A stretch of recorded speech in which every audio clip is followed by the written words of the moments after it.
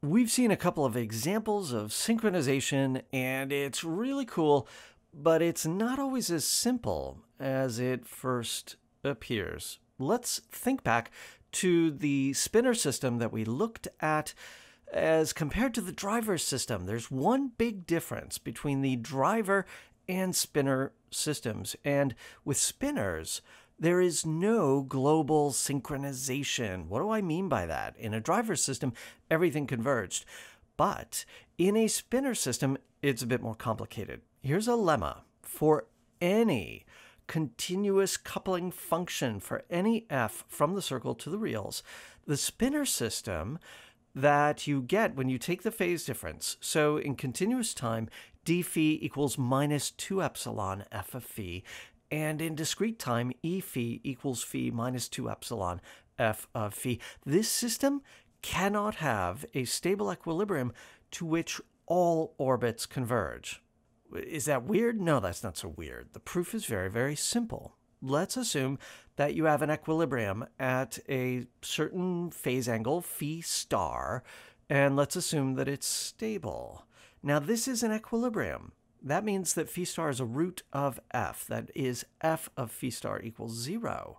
Okay, that's it. That's your equilibrium. Cool. But by stability, f has to take on both positive and negative values near that root.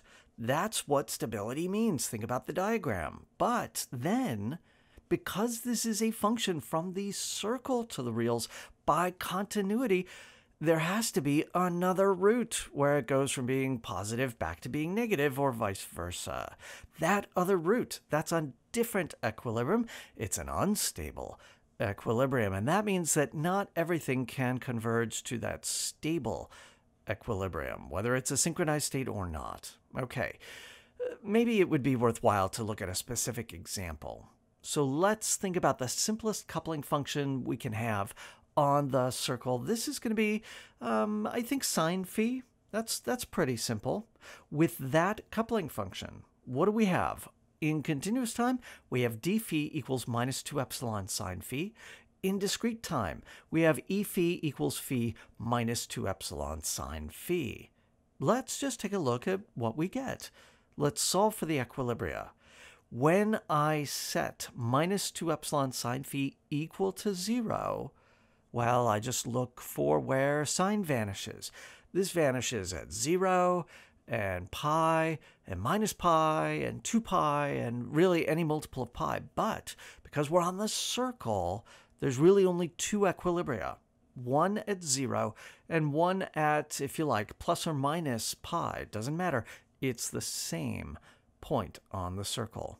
Now, to classify the stability, we look at the derivative of the right hand side. In continuous time, that's minus 2 epsilon cosine of phi. In discrete time, it's 1 minus 2 epsilon cosine of phi. Remember, we're taking the derivative with respect to the variable phi. Now, let's apply the stability criterion. When epsilon is a small positive number, then what are we going to get? We're going to get a stable equilibrium at phi equals zero. We're going to get an unstable equilibrium at phi equals plus or minus pi. This unstable equilibrium is very interesting. What does it mean to have phi plus or minus pi? It means that you are not synchronized. It means that you are anti synchronized. Your two spinners are perfectly out of phase. And this is also an equilibrium for the system. If you start in that state, you stay in that state, although it is unstable. I wonder what happens if we start changing things. What happens if we have non identical agents? Let's start with drivers. Let's say that we have a pair of drivers Let's keep it simple. Let's say the coupling function is linear. f of phi is phi. Then in continuous time, we have a system dx1 equals omega plus epsilon phi, dx2 equals omega minus epsilon phi. You've got the similar thing in discrete time where you have the x1 or the x2 on the right hand side as well. But in this case, let's say that those two speeds, omega, are different we have omega 1 for the first driver, omega 2 for the second driver. what happens when we have different natural speeds. You might think, well, they're moving at different speeds, and epsilon is really small, so I, I guess they just keep moving at different speeds. Let's do the math. Let's look at phi, that is x2 minus x1, and on the continuous time side, we have d phi equals omega 2 minus omega 1 minus 2 epsilon phi. In discrete time, the system we get is E phi equals phi plus omega 2 minus omega 1 minus 2 epsilon phi.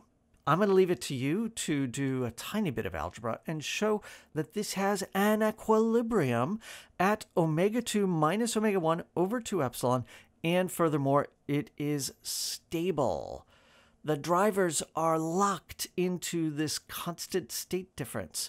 Now, notice that when omega 2 equals omega 1, this stable equilibrium is at zero.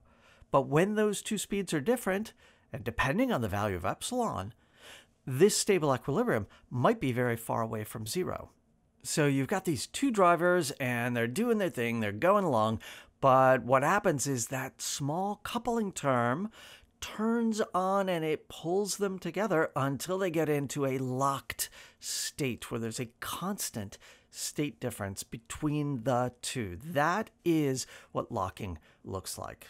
Let's repeat that same analysis for a spinner system, where now we have theta 1, theta 2, they're both evolving, but they each have their own natural speeds, angular speeds, omega 1 and omega 2. We're going to use a simple coupling function, in this case sine of phi. Now you can check that the resulting 1D system on the phase angle phi is the same that we had before, but with phi, that coupling function being replaced by sine of phi. So we have d phi equals omega 2 minus omega 1 minus 2 epsilon sine phi, and we have e phi equals phi plus omega 2 minus omega 1 minus 2 epsilon sine phi.